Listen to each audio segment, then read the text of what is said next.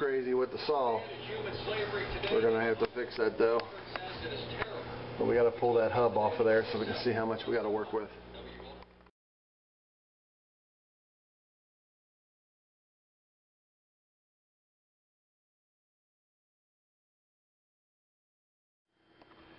As you see, we sweated off that hub, that T. Got this pipe to work with now. Get that repaired.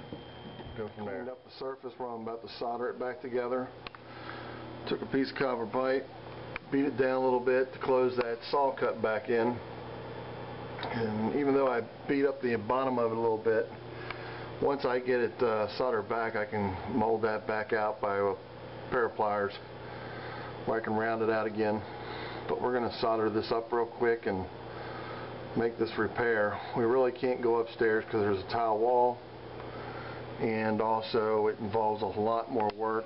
We can't cut these joists and I've got just enough to make a connection to below. And that's what was understood when we started this job.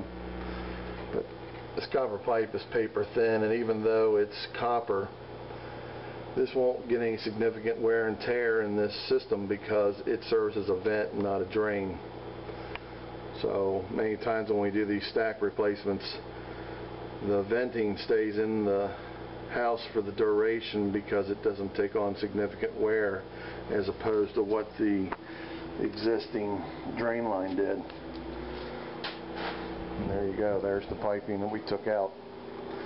This is the one that's been taking food waste, fecal matter, detergents, oils, soaps, saliva, body fluids.